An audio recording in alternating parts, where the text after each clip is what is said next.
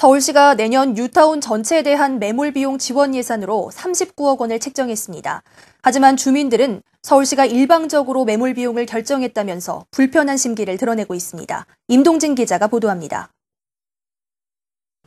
3억 8천만 원. 서울시가 책정한 정비사업 추진위원회 한 곳당 평균 사용 비용입니다. 서울시는 이를 근거로 내년도 매몰 비용 지원 예산을 총 39억 원으로 결정했습니다. 하지만 해당 지역 주민들은 산정 기준에 의문을 제기합니다. 매몰 비용 그 비용에 대해서 범위도 어디서 어디까지인지 그냥 탁상 공론으로 아무 우리 그 이쪽 사무실에는 통보도 없었고 조사한 적도 없고 이런 식으로 해서는 이건 좀 매몰 비용에 대해서는 곤란하다. 주민들은 서울시 직원이 예산 책정 전에 단 한 번도 현장에 나온 적이 없다고 지적합니다. 특히 서울시가 매몰 비용 범위도 정확히 공지하지 않아 논란을 더욱 키우고 있습니다. 이에 대해 추진이나 조합에서 등록하는 대부분의 비용이 해당된다는 게 서울시의 해명입니다.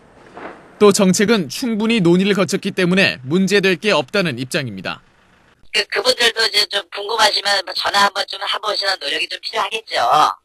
예. 그냥 나는, 나는 잘 모르겠다고 얘기하시면 참 저희들도 이제 사실 깝깝은 합니다.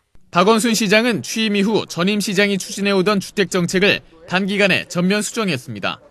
따라서 상호 간의 소통이 부족할 수밖에 없다는 게 뉴타운 관계자들의 중론입니다.